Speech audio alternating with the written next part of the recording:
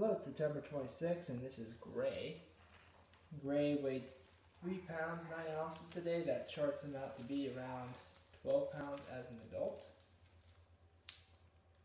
He's been to the vet and passed perfectly, up to date on vaccinations and microchip. Um, I would say um, I would expect him to be probably a little bit more rambunctious than this typically.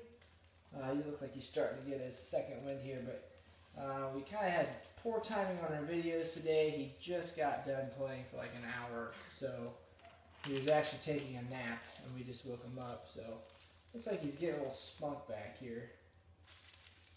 But we'll go ahead and cradle him up here.